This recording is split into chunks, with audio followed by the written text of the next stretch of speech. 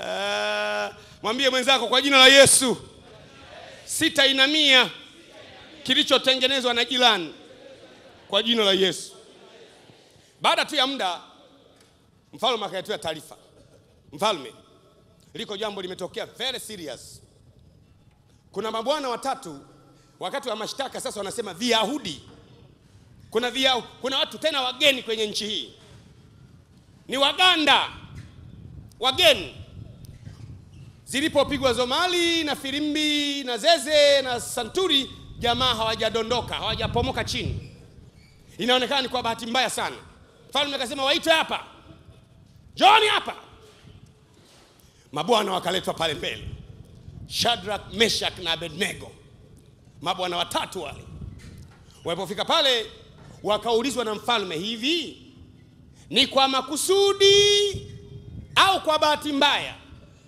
Wakati wa kupomoka labda mmechelewa, mkaona wenzetu wamepomoka mapema sana, mkachanganyikiwa kwenye kupomoka kule, mkaamua msimame kwa bahati mbaya labda.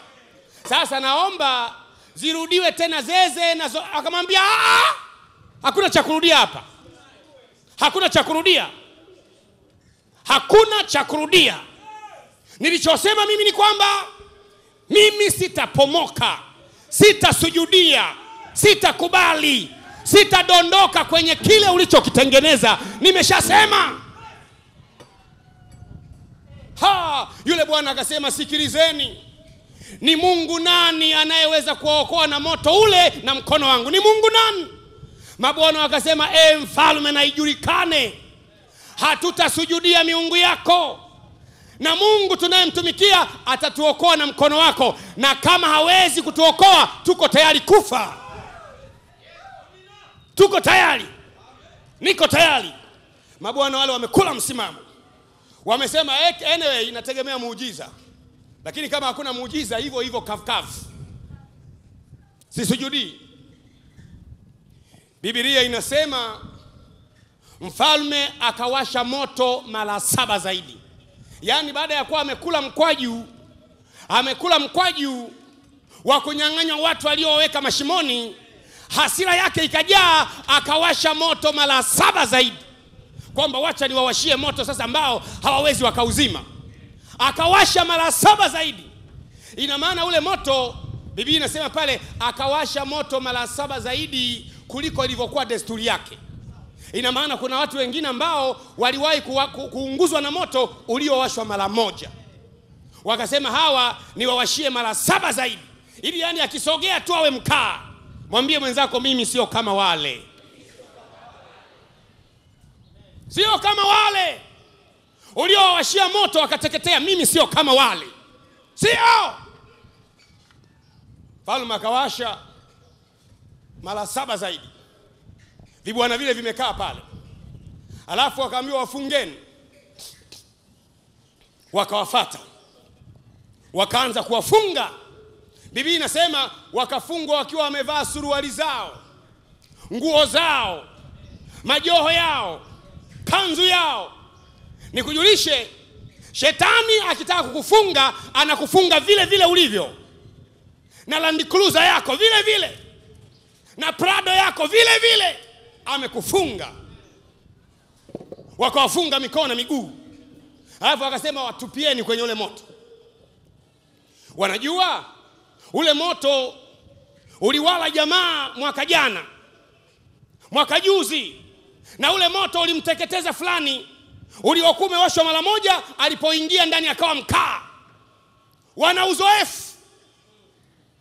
Walishageuza watu kuwa mkaa. Mara mara mara mia. Wanajua uwe wewe. Hawajui kwamba mimi sio kama wale waliogeuka kuwa mkaa. Mimi ni, ni mtu mwingine huyo hebu wambie kwa jina la yesu. Mimi sio kama wale. Sema tena mimi sio kama wale. Hey wakashika bwana. Na amri ya mfalme ilikuwa kali sana. Yaani macho yamemtoka kweli. Wamenivunjia heshima mbele za watu. Ni nchi nzima imekusanyika kwa pamoja. Watu wote wamedondoka wamepomoka. Juu ya uumbaji wangu wamenivunjia heshima. Washeni moto mara saba zaidi si wanajidai ni watumishi wa yehova? Si wanajidai wanafufua? Si wanajidai wanarudisha? Washeni moto mara saba zaidi. Bila kujua si kwamba tunajidai tunarudisha kweli. Wakauwasha moto mara saba. Sasa mfalme akasema beba tupia. Wakaambia ukichelewa chelewa kutupia unawaka na wewe. Ndio maana unaona wale mabwana watupiaji wanakwenda kichwa kichwa wakatupia ndani ya moto. Muujiza wa kwanza uliotokea wale watupiaji wakawaka moto. Wale watupiaji wakawaka moto. Yaani yule aliyekubeba akutupie ndani ya mkaa akawaka yeye kabla hujawaka wewe. Na waamuru wale wanaotaka kukutupia wawake wao kabla hujawaka wewe kwa jina la yesu. Wale waliopanga mabaya juu yao wawake wao kabla ya wewe kwa jina la yesu kama kuna jambo huwa linishangaza duniani aliyepanga mabaya huwa anakufa kabla ya aliyempangia. Hili jambo la ajabu sana. Hebu jaribu kuona. Yuda akamuuza yesu ili afe. Alipokamatwa yesu tu yuda hata kabla yesu hajafa akaenda kujinyonga kwanza mwenyewe. Uliyepanga mabaya ya kuniua utakufa kabla mimi sijafa hebu mwone haman. Amempangia modekai auawe. Kabla hajauawa modekai haman ameshauawa tayari kwenye msalaba ule ule. Biblia inasema yeye alipaye ubaya kwa wema ubaya hautatoka nyumbani kwake. Na watu wote waseme amen. Wakaingia ndani ya moto. Walipokwenda kutua ndani ya moto cha kwanza wameshikwa pam pam pam pa pyu ndani ya moto mabwana wanakwenda kutua. Pa! Muujiza wa kwanza zile kamba zikakatika. Haleluya. Hebu mpigie bwana makofi. Haleluya. Mfalme akachungulia ndani ya ule moto. Akawambia mawaziri hey, look here mmetupa wangapi? Wakasema watatu. Mfalme akasema kwa taarifa yenu kuna wanne. Kuna wanne. Alafu mbaya zaidi tumewatupa wakiwa wamefungwa kamba lakini sasa wanatembea ndani ya moto. Yaani wanafanya utalii ndani ya moto. Halafu mmoja wao ni kama mwana wa miungu vile. Ule moto tuliowashia uwaunguze ule moto umekata kamba za maisha yao kwa jina la yesu. Wakaanza kutembea. Tembea. Mfalme akasogea kwenye ule moto akawambia shadrak meshak na bednego tokeni kwenye huu moto. Mabwana wakatoka ndani. Suti zimenyoshwa vile vile. Waliingia ndani ya moto na kamba.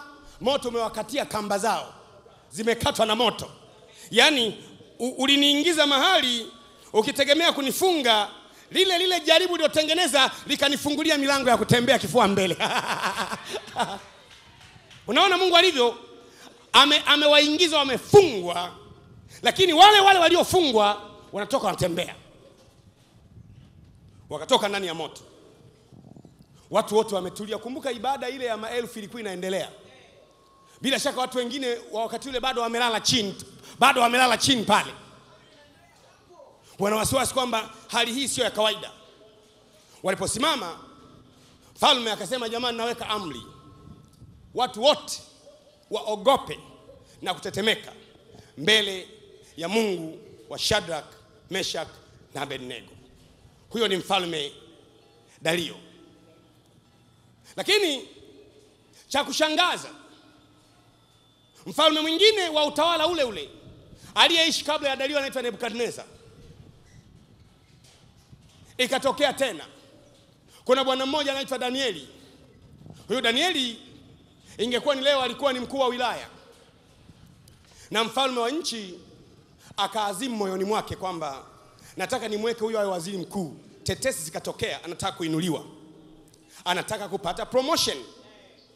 Kuna uvumi ukaenea kila mahali kwamba kuna dalili kila dalili ya kuinuliwa huyu bwana. Sasa wale wenzake wakaona huyu bwana anaonekana atapanda kwenda juu. Tutafute namna ya kumwangamiza.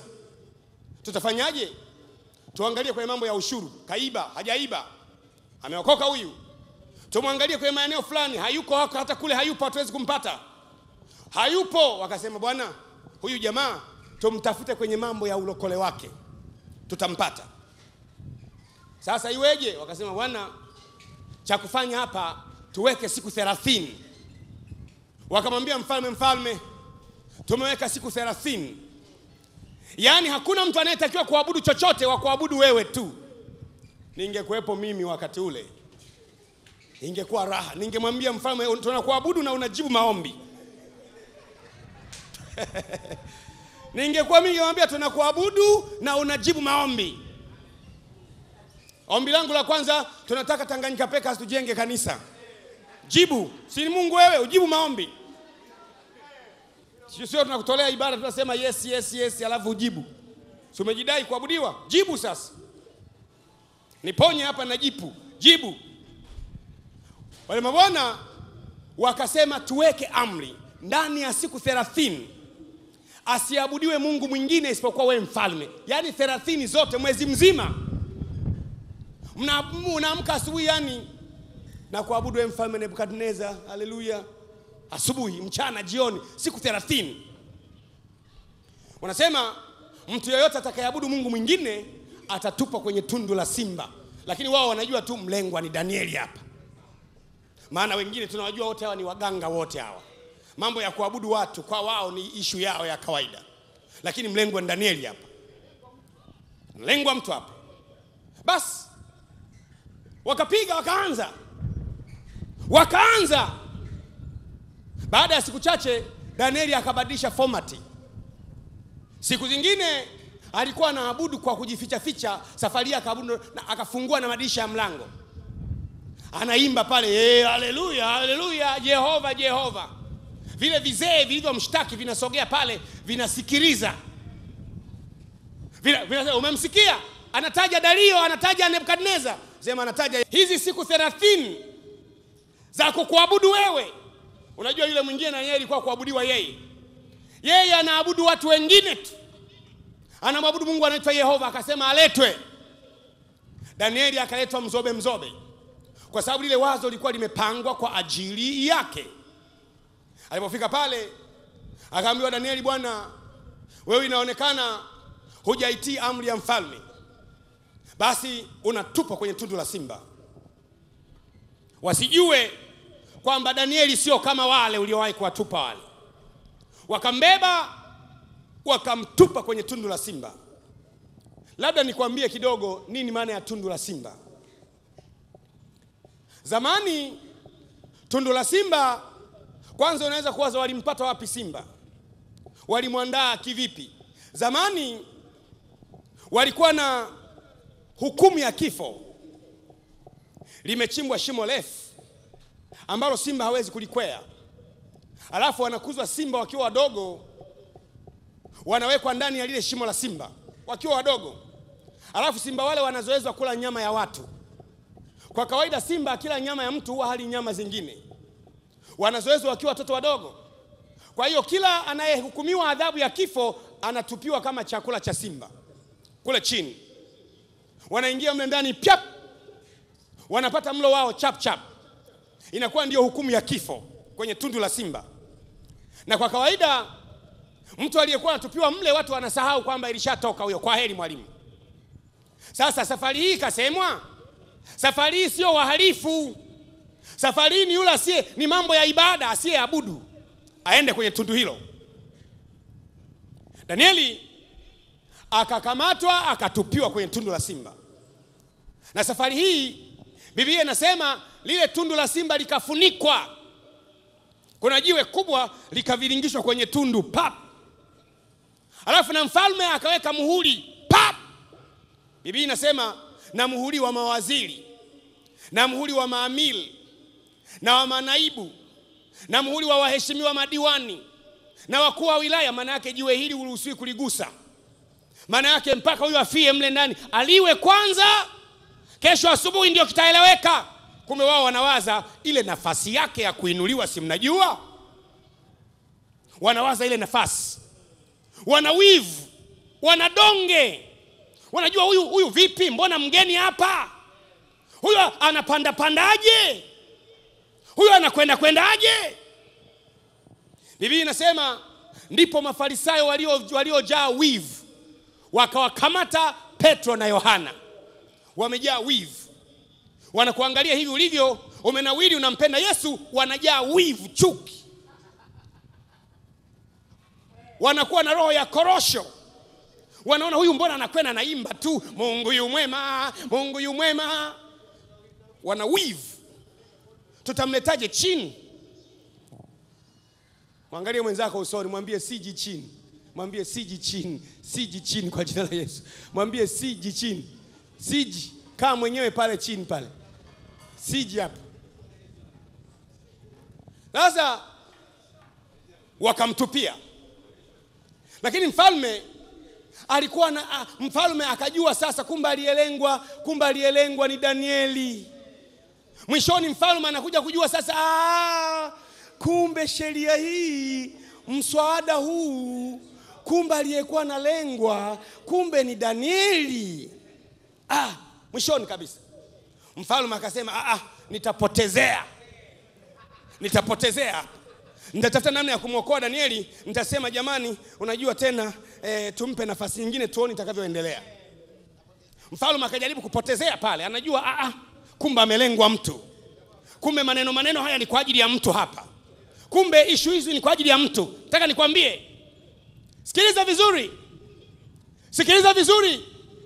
Kila mbegu iwe ni mbegu ya harage iwe ni mbegu ya mwembe iwe ni mbegu ya pela ina asili ya mti ndani yake. Narudia tena kila mbegu ukiona mbegu ina mti ndani ukiweka kwenye ardhi baada ya muda inatoa mti na majani na shina na matunda na watu wanakula kila mbegu ina mti. Nataka kusema wewe hautakatizwa kabla hujawa mti na kuzaa matunda kwa jina la yesu every seed it has a potential to be a tree. Lakini ukiona kambegu nikwambie kitu. Ubuyu una mbegu ndani. Kale ka, ka, ka, ka ubuyu kadogo unakokula kale kana uwezo wa kuwa mbuyu. Ukikachukua kale kambuyu kaweka mfukoni tu. Mbegu ya ubuyu. Ukamumunya ukaweka mfukoni. Una nini? Nina ubuyu. Una mti wa mbuyu ndani una mti wa mbuyu ndani huko mfukoni ukikapanda chini baada ya miaka arobaini bonge la mbuyu. Kalikuwa kambegu lakini ndani yake kana asili ya kuwa mbuyu na miti na mizizi. Mungu anapowaita watu anawawekea asili ya hatima yao. Ukiwaona wembamba wembamba hawatoshi hawatoshi hawaeneienei ni waajabu ajabu unawaza ni mbegu. Wana mti ndani yao na hawafi mpaka mti uzae matunda kwa jina la yesu. Narudia tena. Kila mtu unayemwona ana makusudi aliyopewa na bwana. Sikiliza nikupe taarifa kidogo. Watu wengi huwa wanawaza kufanikiwa ni kuwa na nyumba nzuri. Sio. Kufanikiwa ni kuwa na magari. Hapana. Kufanikiwa ni kusoma vizuri. Hapana kufanikiwa ni kuolewa ukafunga ndoa amefanikiwa kweli? Hapana. Kila mtu ulipokuja duniani kuna kusudi la kuishi kwako ambalo mungu ameliweka ndani yako. Lile kusudi linapotimia lile kusudi ambalo mungu amekufanya wewe uwepo duniani linapotimia kwa utimilifu unaitwa umefanikiwa. Unaitwa umefanikiwa kwa sababu liko kusudi ambalo mungu limemfanya ashawishike kukufanya wewe uwe hai duniani. Lile kusudi linapotimia maana yake mungu amekupangia jambo. Lile kusudi likitimia unaitwa umefanikiwa. Mtu ambaye hajafanikiwa ni anakufa kabla ya kutimiza kusudi lake. Ndiyo maana unaweza kumwona mtu ana magari mia moja lakini hajafanikiwa. Kwa sababu sio kusudi uliloitiwa. Kuna watu wanaishi nje ya makusudi yao unamwona kabisa ana magari ana nyumba ni waziri lakini yuko nje ya kusudi la mungu. Hajafanikiwa yule. Na kusudi la mungu aliwezi kuzuiwa na binadamu. Narudia tena kusudi la mungu aliwezi kuzuiwa na binadamu. Mi nasema siku zote ufufuo na uzima wito wetu ni kuigeuza tanzania iwe ufalme wa mwanakondoo na hatutazuiwa na yeyote. Ewe mwambie mwenzako jua kusudi la uzima wako kwa hiyo watu husema hivi jamani wamefanikiwa kweli? Yani mafanikio nini? Ana viwanda. Je kusudi la mungu alipoumbwa alileta duniani hapa aje ajenge viwanda? Mungu aliweka nini ndani yako? What is the purpose of your existence? If you live according to your purpose and you fulfill the purpose of your existence therefore you are a successful man or woman. Unapoishi unatimiza kusudi la kuwa hai wewe ndiye uliyefanikiwa. Ndio maana unaweza kuwaza hivi jamani kweli huyu mtu amekufa hata hajanunua gari ya kufanikiwa? Hapana. Kuna watu wengine hata gari kununua hawatakiwi. Surprise hiyo. Kuna watu hata, hata gari kununua hawatakiwi. Surprise hiyo. Kwa nini? Pasta gwajima hapa anatoa milioni mia tano. Tumwangalie mtu mmoja hapa ambaye analala kazi kanisani anamtafuta bwana njoo hapa nikukabidhi cheki ya milioni mia tano. Umwone kama atakuja kanisani kesho. Huyo aliyekuwa analia kabisa baba mungu baba mungu nipe mtumishi wako. Unamwambia milioni mia nane hii hapa kesh chukua. Unampa? Kwa nini? Mungu anajua sampuli ya moyo wake. Anajua moyo huu usipombana huyu ukambana hapa hawezi kukutafuta wewe. Anajua sampuli ya mioyo hii ukiacha tu chakula kipo maji yapo nyumba ipo gari ipo safari za kwenda nje ya nchi zipo pesa ipo. Mioyo hii. Mioyo hii ni hatari. Kwa hiyo mungu anaamua ndio maana unaweza ukamwona mtu amefanikiwa sana lakini kwenye eneo fulani mungu kamkaba pale. Kambana kasema we bwana una akili nyingi sana. Nikiruhusu hizi akili utafanya maajabu mungu anamkaba mahali. Mungu anajaribu kubalance. Anajaribu kubalance anajua kabisa bwana huyu jamaa huyu. Kuna bwana mmoja tukiwa ubungo pale. Nimesahau jina lake lakini mtu wa kusini. Alikuwa anaitwa sijui nani. Ni mjenzi. Alidondoka kwenye jumba. Alikuwa anajenga fundi akadondoka ghorofa ya tatu akavunjika miguu.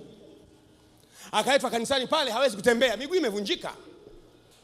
Ulitokea muujiza wa ajabu. Tulipoomba kwa jina la yesu mungu akafanya muujiza jamaa akasimama akatembea akakimbia. Wiki iliyofuata sikumwona kanisani. Kumbuke alikuwa hatembei wiki iliyofuata kanisani hayupo. Baada ya miezi miwili nikakutana naye mahali. Nikamkumbuka. Akaniambia mchungaji mungu akubariki mtumishi wa bwana. Oh, mungu akubariki. Akatoa elfu ishirini. Ilikuwa nyingi sana wakati wa mtumishi wa bwana. Chukua nikamwambia subiri kwanza. Sitaki hiyo hela. Sitaki hiyo hela. Nataka roho yako ije kwa yesu. Mtumishi wa bwana. Nikamwambia nini? Akasema mtumishi wa bwana unajua nilikuwa na tenda nyingi za ujenzi. Niliposhindwa kutembea sikuzifanya zote. Mungu aliponisaidia kutembea nakimbizana nazo nakimbizana nazo mtumishi wa bwana.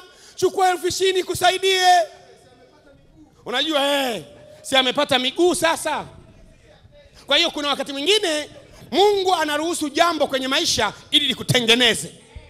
Kuna mambo mengine yanaruhusiwa na mungu likutengeneze likutengenezee tabia njema likutengenezee namna ya kutenda. Mungu anafunga milango unaona fedha hakuna anayekupenda hayupo. Yaani kila mahala pamefungwa. Ukilia baba mungu hey, mungu anafungua kadogo unakula unapata nauli unalipa kodi ya nyumba. Ukianza ku, kulipa kodi ya nyumba unaanza kurelax kidogo. Unaanza hata ibada ulikuwa unakwenda jumatatu na jumatano na ijumaa unaacha mungu anafunga tena. Ili uje kanisani tena. Unakuja tena baba ule mlango uliokuwa umefunguka umefunga tena. Ndiyo mungu yuko namna hiyo anakutengeneza. Sisi wenzako kwa kadi unavyobarikiwa unasonga mbele. Kwa kadi unavyoinuliwa unasonga mbele hey. watu wakasema wakati ule huyo gwajima sasa kule ubungo kanunua hama hataanza kuhubiri. Hama ni nini? Si ni chuma tu ni udongo. Si ni chuma tu ni udongo tu ni bule tu ni hovyo tu. Unalinganisha hama na uzima wa milele. Unalinganisha gari na hazina ya yesu kristo kuwa ndani yetu. Oh, kasema juzi wanaanza mkutano iringa kwa taarifa yako tunaanza iringa na helikopta ya kwetu ya ufufuo na uzima sasa. Kwa taarifa yako. Kwa taarifa yako tunaanza iringa na helikopta ya kwetu. Si tungetumia helikopta kufanya utalii helikopta ya kwetu sio ya biashara sio ya siasa sio ya kusafirisha watu ni kwa ajili ya injili tu. Yaani tukipiga gombo iringa inatua pale pap. Baada ya hapo inahamia mbeya pap. Baada ya hapo iko njombe iko songea iko ruvuma iko kigoma iko geita iko bukoba iko mwanza. Inakwenda tanzania yote alafu inakuwa ime, tumeiblandi kabisa imeandikwa. Ikipita pale juu wewe ukiona tu imepita hapa sasa hivi imeandikwa saa ya ufufuo na uzima. Ujue tumo mle ndani. Ah, ujue tumo mle ndani. Alafu wewe unawaza naweza kumleta gwajima chini? Unilete chini wewe? Waulize wenzako. Walijaribu wakachemsha. Waulize wenzako waulize wenzako. Wakati tunaanza kurudisha misukule kila mtu hey, misukule hawa ni imani potofu tunakwenda tu. Alafu bahati, bahati mbaya sana huwa hatujibu. Tunakwenda tu. Anayeamini ni kweli shauri yake. Anayeamini ni uongo shauri yake. Anayesema mbona wako kimya hawajibu labda ni kweli shauri yake. Anayelia shauri yake. Sisi tunasonga mbele. Hatujaitwa kuongea na maneno. Hatujaitwa kuzungumza. Sisi tunasonga mbele mi nishawambia watu tangu zamani si, sijibu. Tukana we pumbafu chis wenda wazimu. Pako naishiwa matuzi. Unawaza nitukaneje ni, ni, tena? Miguu yako kama miguu miguu miguu yako kama ya kuku. Naendelea tu. Kichwa kikubwa huyu naendelea tu. Macho makubwa huyu naendelea tu. Utaniona tu nakwenda tu huyo na nikiona maneno yako yanazidi sasa ninaacha kuendesha gari na paa na helikopta. Sikusikii sasa juu sasa.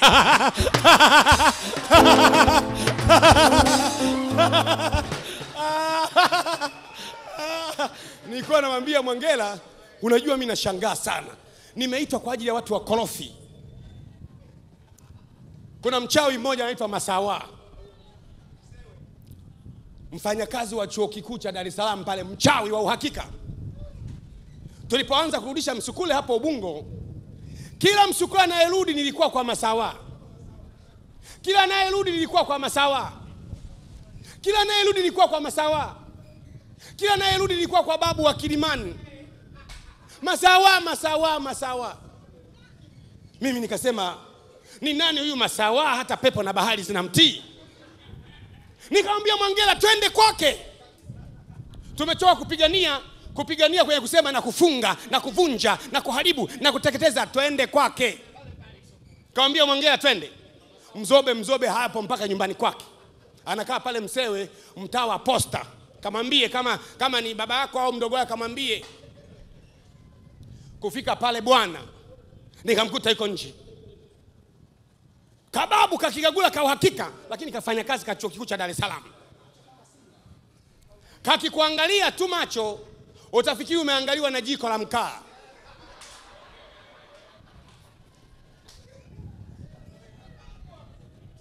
Si hatuangalii bwana. Umeloga ni wale sisi sio kama wale. Umechukua msukule ni wale sisi sio kama wale. Sisi ni kizazi tofauti. Kizazi tofauti. Unajua ukimsema mtu vibaya watu watajua mabaya akija kutokea wanaanza kujiuliza aliyekuwa anaongelewa ndio huyu? Ndio huyu? Mwambie yule mganga. Waambie wale kaka zako. Aha naongea na mtu hapa. Kuna ndugu zako wenye nia ya kukurudisha chini. Wajulishe utarudi chini kwa jina la yesu.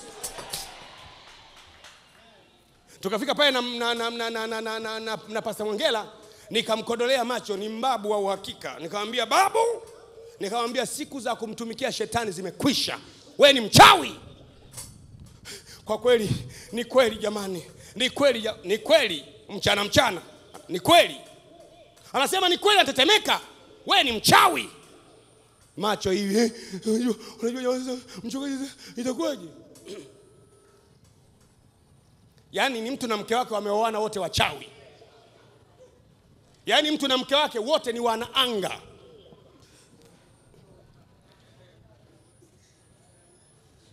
hata wao kwa wao wanaliana timing.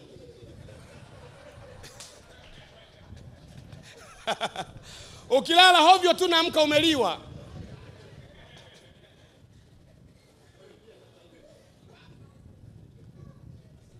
Lakini mke wake ndiye alikuwa kigagula wa uhakika.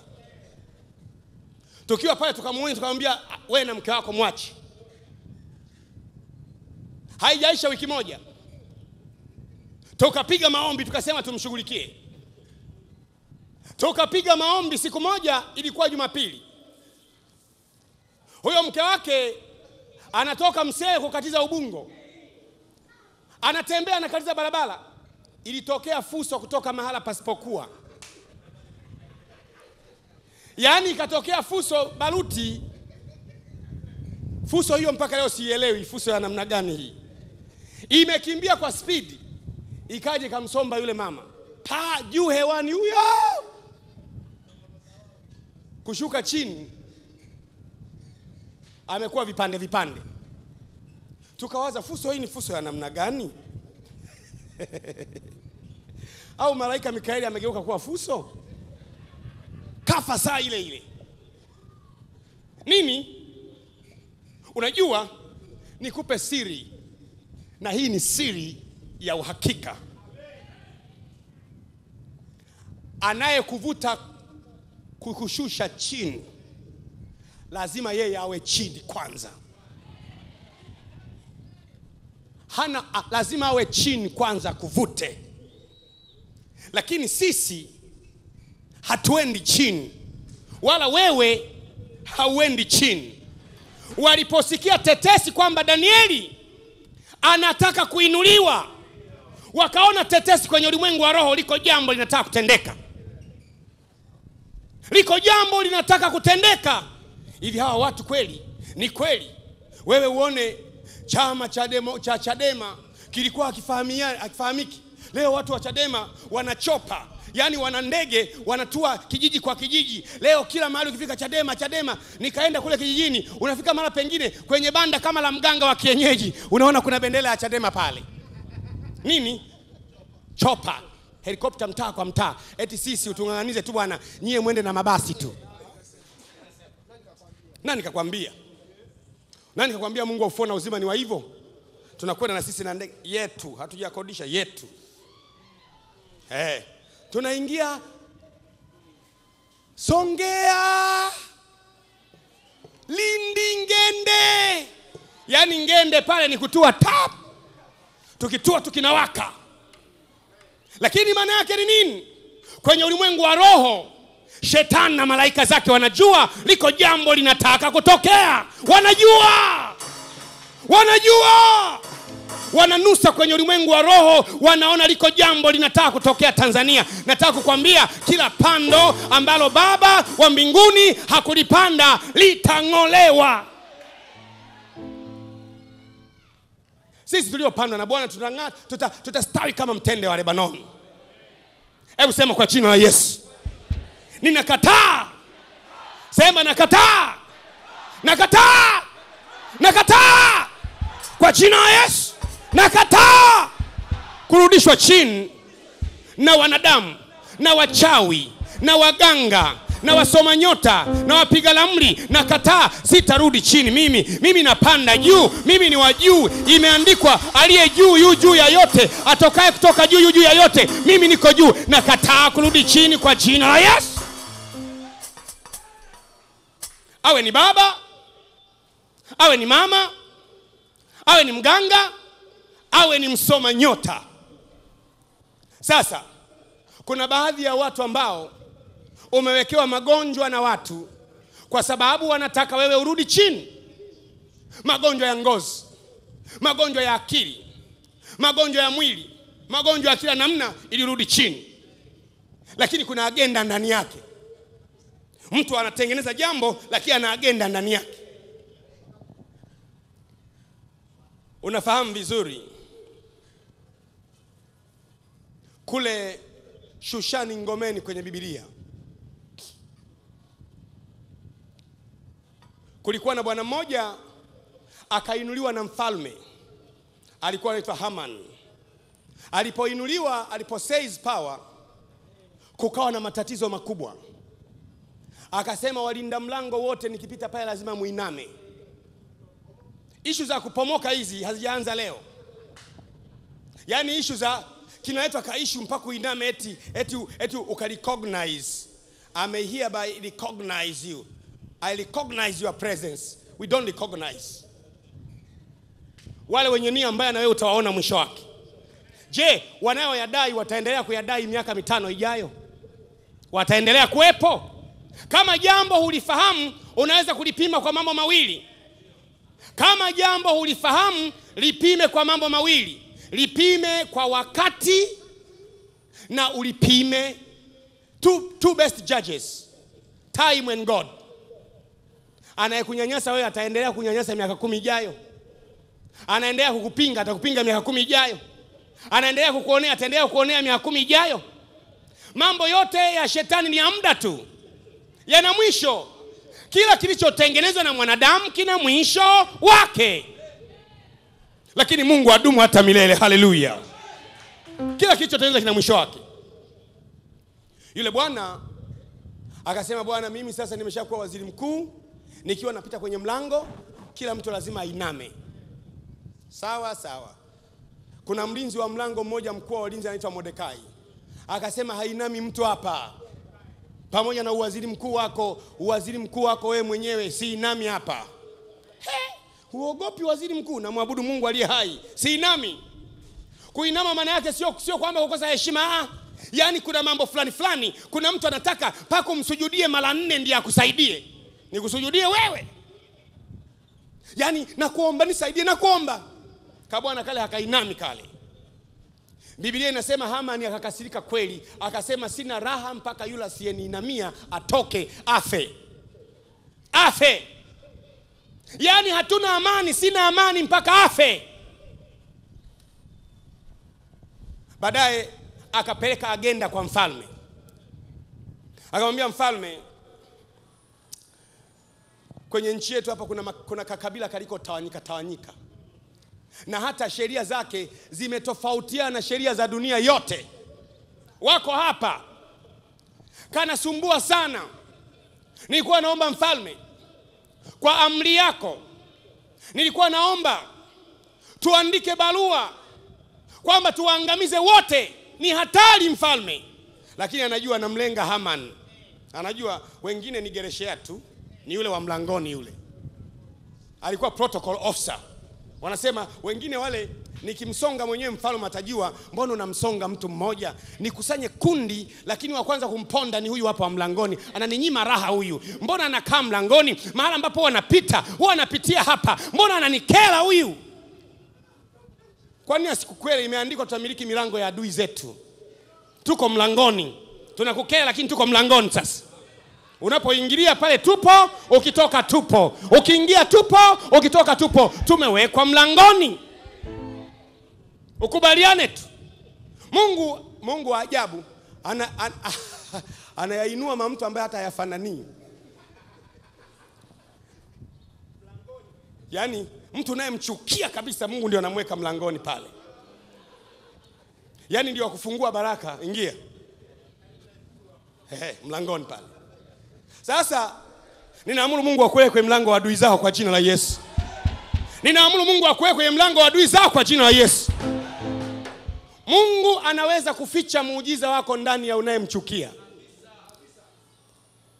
kabisa. Ukamchukia mtu alafu Mungu ndio akasema naweka muujiza wako ndani ya huyu usiyempenda. Unaluka hivi, mchungaji, nimeombewa Siloamu Mchungaji, nimeombewa Assemblies of God. Mchungaji, nimeombewa Efata. Mungu anaacha tu, anasema nataka nikupeleke kwa unayemchukia. Baadaye anaanza kuja polepole pole. Alikuwa anakutukana, anakaa nyuma kwenye hema la nyuma, hasemi hata amen, polepole pole. Na mwishoni huwa hawasemi kwamba nilikutukana, hawasemi ila mkianza kuomba utamsikia analia tu. Unasikia ameshukiwa uwepo wa bwana. Nakumbuka yale matusi yale. Anaona kimeumana hapa.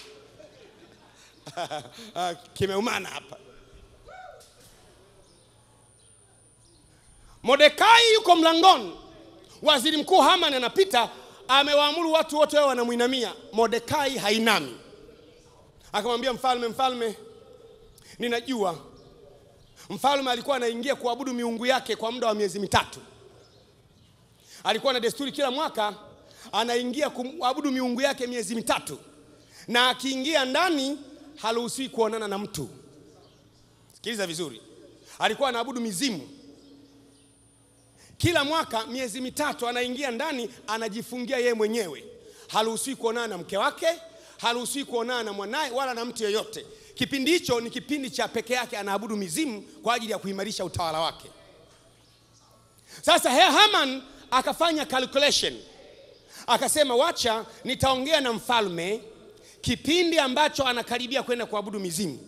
Alafu mfalme aniandikie barua ya kuangamiza wayahudi wote lakini waangamizwe kipindi ambacho mfalme atakuwa anaabudu mizimu. Hata tokea mtu yeyote wa kuwaokoa. Mfalme si ndiye aliyeandika waraka ule akapiga hesabu. Hesabu ya uharibifu. Hesabu ya mabaya.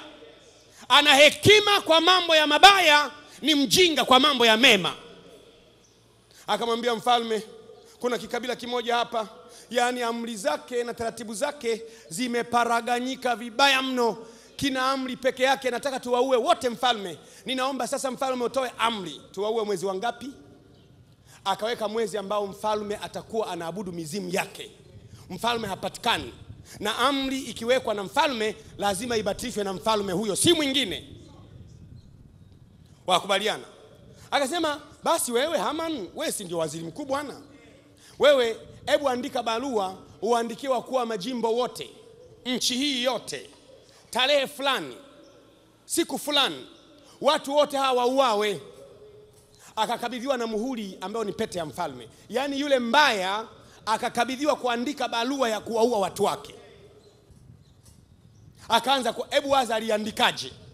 Yaani mfalme alikuwa anashawishiwa kwamba andika barua kwa wakuu wa mikoa wakuu wa wilaya maafisa wa kata tarafa kijiji. Yaani wayahudi ikifika ijumaa saa nne wauawe wote kila mtu amuue mwenzake mtaani.